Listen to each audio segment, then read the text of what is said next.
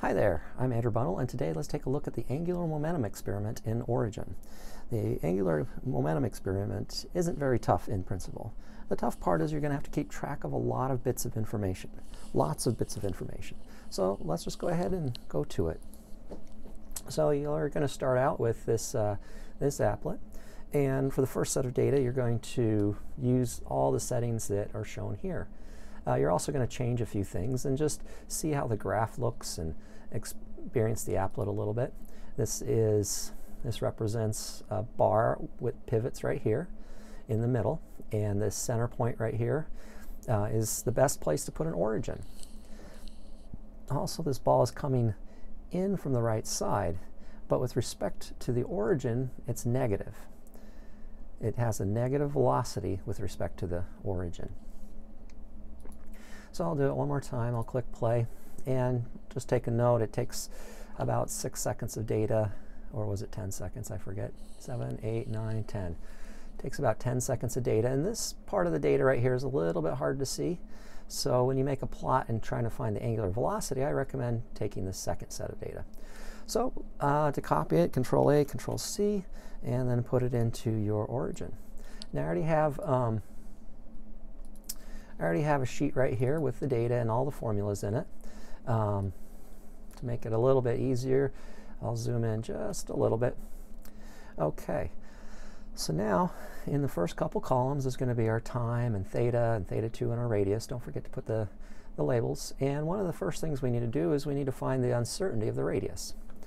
And how are we going to do that? Well, the easiest way is just to click there and create a scatter plot. And we see, well, there's where the ball is moving toward the bar, and then after it hits the bar, it stays relatively the same. So we can do the pool tool and just highlight a section of data and do column statistics. And then we just got to make sure the standard deviation is checked. We can uncheck everything else if you want. Um, and hit OK. And I'm going to go ahead and hit yes and go take a look at the report sheet. So I have my standard deviation as 0.00229, which rounds up to be 0.0023. And let's see if that's what I wrote in for my next column. Oops, it's this one, but now I need to go back to sheet one. There we go. I actually just copied and pasted the number right there. I should probably round this, so let's do that. Round format cells. And let's uh, set default digits, and I need four digits. Four. Okay, and it rounded it to 2, 3. The next thing we need to do is we need to get some length measurements. And so to get some length measurements, you're going to reset the applet. Let's get the applet back up on the screen. Reset.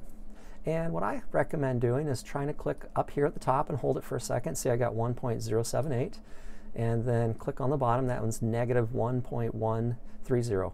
But remember, this is the pivot is right here in the middle. So that's 0.00 and you're going to take six measurements and find the standard deviation and the average length. And then you're also going to need to find the standard error. So I did that right here, and here's my measurements, and there's my standard deviation. And now that I'm noticing, I also put my standard error in this number, in this column, divided by 2. So I should have typed in SE right here and then pasted that value right there which is going to equal to this. Oops, sorry, in origin you can't, you can't do that exactly the same. So it's going to equal to f6, uh, sorry, f8 divided by the square root of 6. And when I get that, I get that number, and I could have referenced that number from this cell. In fact, I probably should have. Now, um, now the easiest way to keep track of the data is to create a large table and even keep it color coded. So here I have an, an orange and then a green and then a light blue and then a purple and down at the bottom I have a pink. And so what are each of these sections? Well, I got the applet settings up here. And then the next one is the initial um, the initial momentum, which only consists of the, the ball because of the bar is it moving. Then we have the um, final momentum of the, just the ball, and then we have the final momentum of just the bar, And then down here, I, we do a total, and then I copied the value down here so I could do a z-score and, and see all the numbers right here. One of the things I didn't do, though, is I didn't round all the numbers.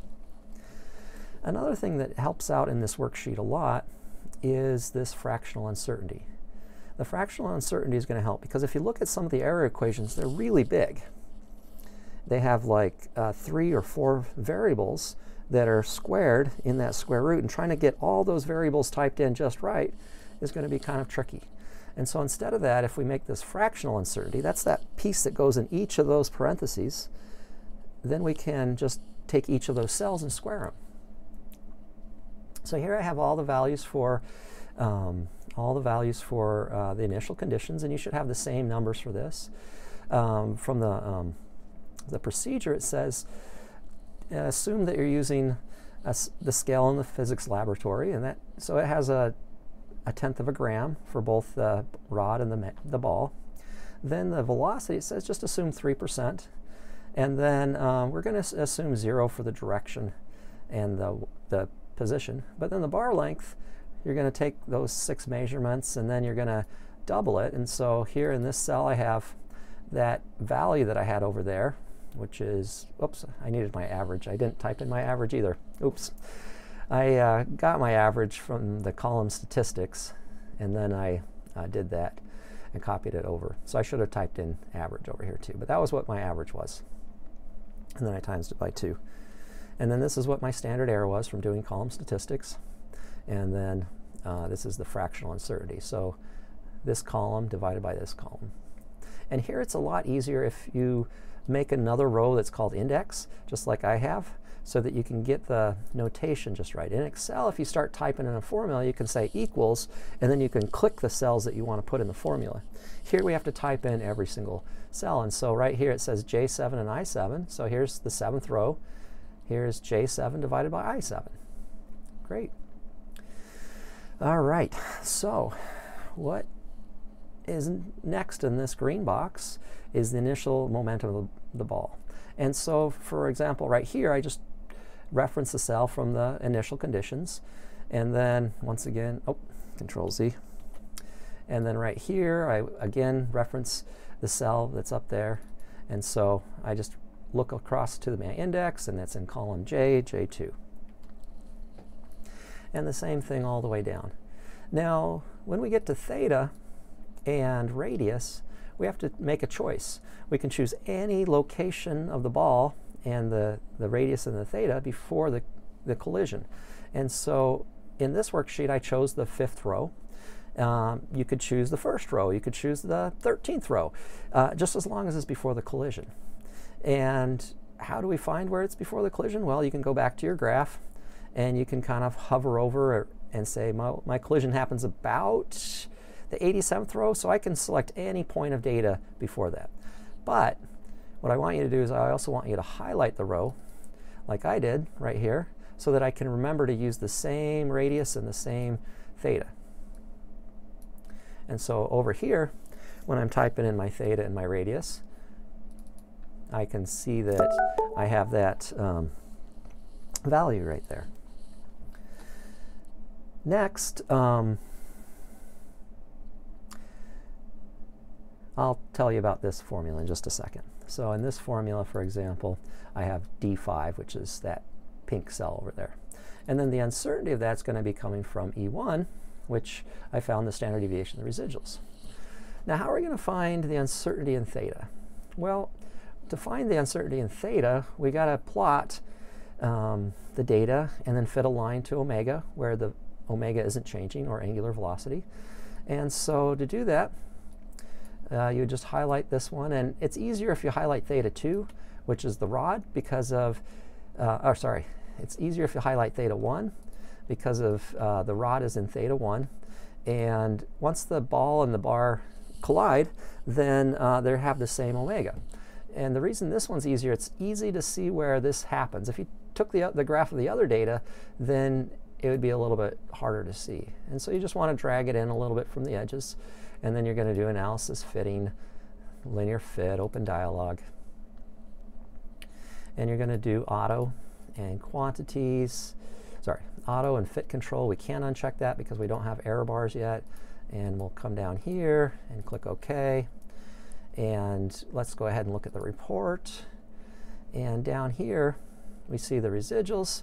We're also going to have to record the slope and the standard error of the slope as our omega in a next box formula. And then right here, we just take standard deviation, or the statistics on column to find the standard deviation residuals. And click OK. Now this is the uncertainty of each theta measurement, and then that's uh, put together with some matrix math to find the uncertainty in the uncertainty in the slope. Now the slope is our omega, so that's how our position is changing with time. And after the collision, it's constant. Now our standard error, we need to record that as well. And I've copied and pasted those values over here in our data. Oops, uh, go back to data and go over to sheet one. So I've copied and pasted. There's the uncertainty in theta, and then there's the two values for omega. Now back to the theta, we have to consider two angles. And I could open up the book, but instead I'll just say the two angles are the radius vector, and then the other one is the momentum vector. And we got to pick up the momentum vector and place the two vectors tail to tail. And when you do that, uh, in this case, the, the one vector is pointed to the x direction, and the other vector uh, goes kind of over the edge, and I have this value, this 2.382 from this table right here. And now the direction, the direction up here for this first part is zero. But if I changed the, if I changed the um, angle of the bar, of the ball, like for example, this right here, this, this ball is going to go downwards. Or if I move the position of the ball down a little bit, I could have a positive value and it goes upwards a little bit. This upwards would be put right here on this, this um, pivot point, and then you'd have to arc it over to the value for the radius. I know it's a little bit complicated, but you just subtract whatever angle it is. So if this angle is positive, you subtract it, make it uh, that much smaller, and if it's if it's negative, you have to add the angle because then the the momentum vector is going to be going downwards. Okay, so right here, we what we want to do is we want to minus this cell right there. Even though it's zero right now, we want to minus that cell because of, for our next set of data, it won't be zero. And then, um, then this uncertainty just came from um, the uncertainty of the radius, and then the fractional uncertainties are just the same. Now, what's the formula for um, the, the formula for initial um, angular momentum? Well, it's just the ball and it's just the ball traveling toward the, the wall, or the, the bar, and so it's just mRV, um, M, I just got to make sure I get this right. It is mRV sine theta, mRV sine theta. And take a quick, quick notice right there, I also have a negative in the formula. The negative is because of its traveling negative with respect to the origin. Now the uncertainty formulas where things can get a little bit tough, but it, they don't have to. In fact, I didn't have to even include all these square brackets. I included it for this first formula because otherwise, like we could have had to come and put in this one divided by this one, and then this one divided by this one, and this one divided by this one, all the way down the line, but we don't have to do that. Instead, we could have just said this one squared times this one squared times this one squared, or sorry, plus this one squared plus this one squared plus this one squared plus this one squared. And that's what I've done right here. So you have to multiply it equals ABS because it's negative, and then times it by this value, and then times the square root of all these ratios squared. Now I just want to point out one thing, that this ratio right here, you can either put it here or you can put it in the uncertainty formula. Uh, but the radius needs to be squared because of the, of the formula for inertia.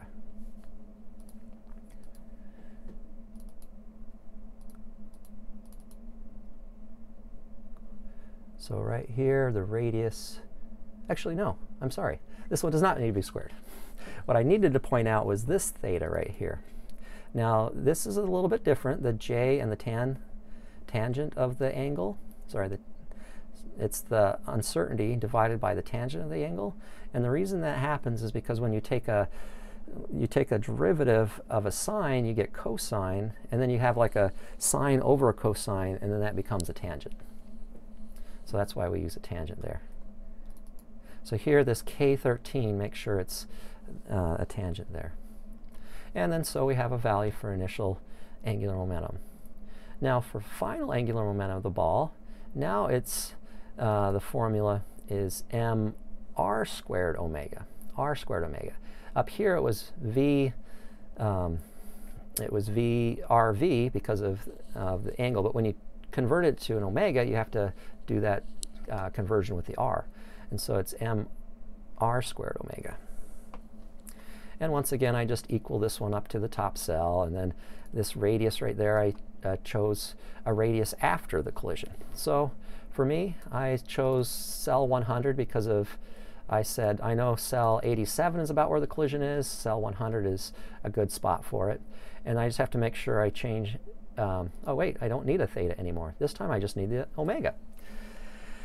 And notice down here it has the same omega down here as well. So you have to get that from the slope. Now right here is where I'm going to point out this formula once again. So it's the m r squared omega is for the, the ball. And then this one right here, notice how I just took this one squared, uh, now plus this one in parentheses times it by 2. And the reason why there's a times it by 2 is because of the radius is squared in the formula. And then the last one is um, just this one squared, the K19. Coming down to the bar, it's very similar. We got the bar mass from the, the top and then the bar length, etc. Uh, remember, you had to double that, and so I typed it up in the first table. And there's the uncertainty. And now the omega, once again, is the same as up here. But this time, it's the, the bar length squared. And there's also a 1 12th in the formula. And there's a 1 12th in the formula because it, it's a bar spinning around its center. And so we got this 1 12th. And notice this time, I forgot to put in the bar squared. Nope, there it is, K24. So you got K23, and then this 24 is 2 times that before it's squared, and then there's the final one. And I get those values. Now we got two numbers, and we have to add them up, and so that's just easy. It's just the, that one plus that one. So I have uh, I-20 plus I-26. And then once again, we have two uncertainties, and so we got to take the first one squared plus the second one squared and take the square root of that. So there we go, square root of the first one squared plus the second one squared. Down below just a little bit, um, I got the, I just copied from up here so that I could have the two numbers close by. And I, so I copied that number as well. And then when I do my z-score, I take the absolute value difference of those and then divide by the square root of those squared. And I get a pretty good value. All right, so let's quickly take another set of data and uh, I have it ready to go right here and I'm going to change a couple things. So let's go ahead to, to this right here and I'm going to change the mass of the rod to the ball to 2, the initial velocity a little bit less, like 0.5. Uh, position of the ball, I like that. And then direction, I want it to go up a little bit. So play, it's going up and now it's spinning around. I got to get ready to take my data, but you know what? I'm just going to let it keep going for a second, and I'm going to type in my new numbers right here. So 2, 2, um, initial velocity 0.5, uh, 0.6, and then direction is 0.2. All right, now I can come down here, Control A, Control C, and come back over here and I can just paste right over that. Oops, uh, I think I made a mistake. Control Z. I need to go back one cell. There we go. Control V. I can choose the same number here, but I don't know if I can change the same number here. So I'm going to plot this one again. And I also have to find a new um, uh, velocity as well. Oops, I need to make this one bigger. Full screen hit the three dots. And I should have chosen the other one. And I can see that it's more like 1.8 seconds now. It, I should have plotted the other row, the other column. Analysis, fitting, linear fit, open dialog. I should have used last change. I can't uncheck that. I can come over here to uncheck these and click OK. And I'm going to hit yes. And I'm going to go ahead and copy this first. Control C. All the way back here. And I'm going to paste it right there. Control V. And Control V right there as well. And then I got to go find the standard deviation of the residuals. Oops, I need to go back to there for my theta. So I go to the last page, I can scroll down and do the statistics there, but just as a reminder, we can also come on this last last tab and highlight that column and do statistics, because that's where that data comes from. I'm just going to go ahead and hit OK and click Yes, and I'm going to copy this, Control C, and I'm going to paste it back in the first tab right here under my theta uncertainty, which is almost the same thing. It's just a little bit different. And let's scroll down to the bottom, and I currently don't have the same thing. Why is that? Well, let's see. My Li, oh, I chose the wrong cell for that one. So instead of I4, that should have been I3. And ball V should have been uh, 0.5. And that's closer, but not quite there yet. Did I choose something different here? Oh, uh, now it needs to be those cells up there. So it is C5, yep, minus the direction, I6. That's the correct one. Okay. And I think it's equal to J4. I think I might have had that one. Okay. That one. Okay.